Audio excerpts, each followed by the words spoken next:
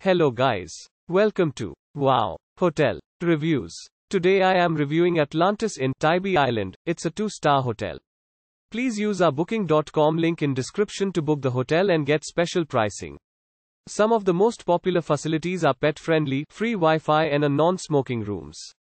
Atlantis Inn Tybee Island just 5 minutes walk from the beach. This Georgia hotel is 2.4 miles away from the Tybee Island Lighthouse and Museum. Guests will have access to free Wi-Fi.